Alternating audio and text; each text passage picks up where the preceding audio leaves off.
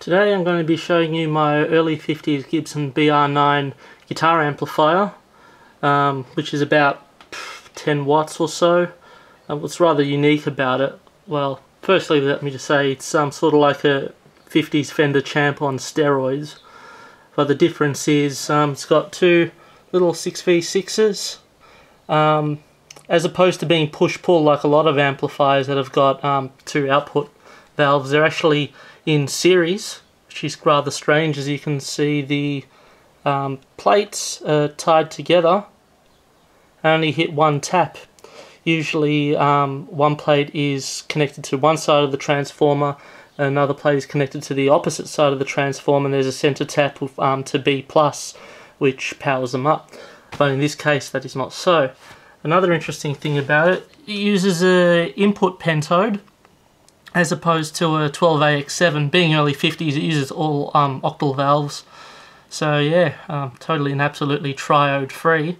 So it's only got really when you think about it two stages of amplification um, one valve being preamp which is the 6SJ7 and then it goes straight into the output section the pair of 6v6s in parallel.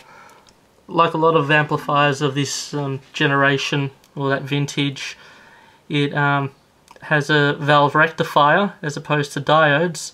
So should there be, I don't know, a nuclear fallout which renders all semiconductors completely unusable, assuming we still have electricity, I can still play guitar. Isn't that lovely?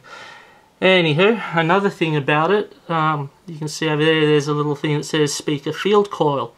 It actually doesn't have a permanent magnet on the speaker. It has a coil around it to magnetize it, which is rather unique. Well, it's not really heard of it much these days, but you know, back in the early 50s, I suppose it was relatively common because magnets were relatively inexpensive. So I hear I wasn't there. I was born in 1977, so I can't speak from experience.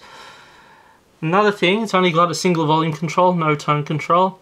Um, if you sort of think about it, that control there is the master volume because there is no preamp volume, it just controls the amount of um, signal going straight into the output stage. So as you can see it's a relatively simple circuit. In the description I'll give you a link to the to the Flickr gallery that I've got where I show how I restored it replacing all the capacitors. I got it pretty much for a steal, 100 about $500 shipped from the US, which isn't too bad for an amplifier of that vintage. Suppose they're not terribly well known. Doesn't have Fender on it. Gibson aren't exactly known for their amps, but you know it's very similar to the Fender Champ as I mentioned, apart from the output stage. But it required a bit of work. It um, yeah, it doesn't look like it had been used in about 20, 30 years. The power cord was rolled up, and when I unrolled it, it just sort of flaked to bits. All the wax capacitors and the electrolytics were all original. Didn't risk even, you know, turning it on with a Variac, I just opened it up and replaced everything. But enough of me talking crap, I'm sure you want to hear what this thing sounds like, so I'm going to give you a wee demo. Actually, I lied when I said I wouldn't be talking any more crap, because I, well, I've got to tell you about it now that I'm in front of it. There she is, sitting there on a chair with the curly cable going into it. Let's have a look what's in the back here. Assuming we've got enough light, just flip it around. Alright, probably a bit dark. Oh, and I just smashed my elbow on a sharp corner. But let's not worry about me right now. There are the four valves, single volume control, two inputs, just an on-off switch. The very highly inefficient 8-inch speaker with the field coiled field coil to magnetize it.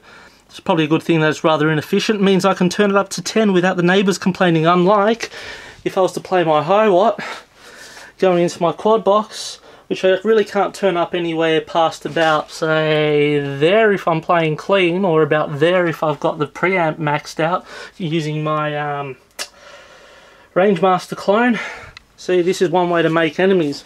This amp, on the other hand, is sort of neighbour-friendly, because I can turn up to 10, I don't end up suffering from tinnitus, and I can still be on friendly terms with the neighbours. So I'm going to warm this thing up plug in my 1975 Gibson Les Paul red sparkle top with P90 pickups instead of the standard mini humbuckers because I don't like the sound of mini humbuckers but I kept them anyway so all you people that are going to be swearing at me saying how dare you destroy such a vintage instrument with other pickups? Yeah shut up. I kept them so I can always return it back to an original. So um, yeah. Anyway I'm going to plug this thing in and now I will shut up. Alright, one thing I will um, mention as well before I play, this thing is warming up by the way, there is no negative feedback. So what does that mean to you? Okay, it doesn't feed part of the output back into the input 180 degrees out of phase to actually keep it clean. So it doesn't have that. So beyond a certain point, you actually get distortion, which is a really good thing. It's what you want. This is why you play a valve amp in the first place. Anyway, this thing should be warm by now. So I'm going to turn it up to about 9 o'clock strum away on the bridge pickup. Weak, weak as piss. You don't want that. You want to turn it up a bit more. 12 o'clock. Getting better, but due to the attenuation, it's sort of losing a bit of tops. So I'm going to turn it up to about uh, 2 o'clock. Nice mild overdrive.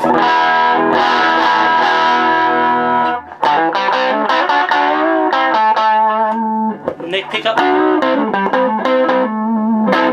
But where this thing really comes into effect is when you turn it up all the way, which it is now.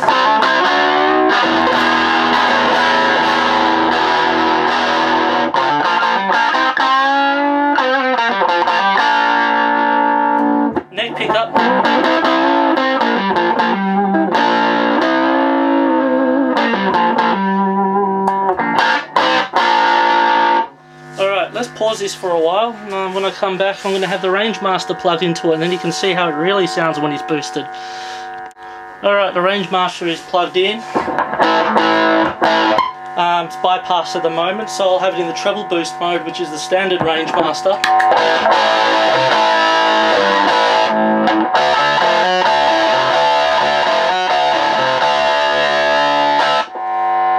But what I like best is when I flick the switch to mid boost, which gives a bit more fuller sound. And then I screw that up.